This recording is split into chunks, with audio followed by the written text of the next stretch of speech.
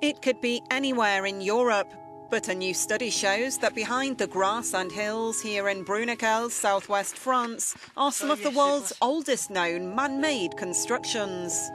Deep inside the caves lie 176,000-year-old semicircular walls made of hundreds of stalagmites. The six structures provide the best evidence yet that Neanderthals began occupying caves much earlier than initially thought. Modern humans often regard Neanderthals as dim-witted, sluggish sorts, but once again, evidence to the contrary has emerged. It turns out they were likely behind the building of a number of accomplished yet perplexing stone circles found inside France's Bruniquel cave decades ago. A recently published study about the site reveals those structures date back about 175,000 years. That places their making firmly in the time of the Neanderthal. A team led by an archaeologist with the University of Bordeaux also found evidence of fire, another indication of builders' skills and resourcefulness.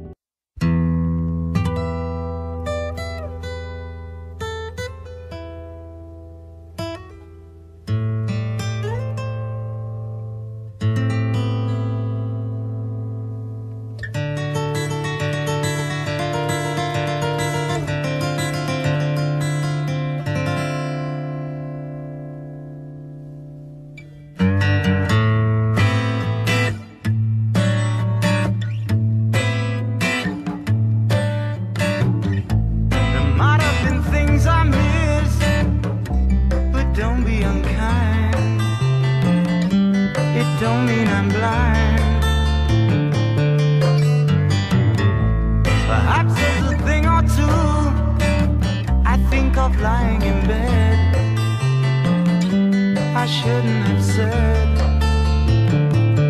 but there it is.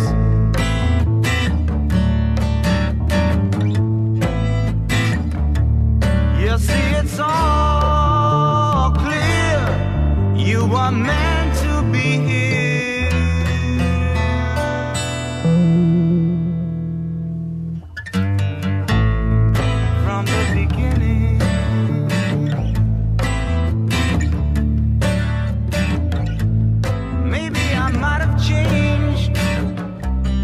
Not been so cruel not being such a fool.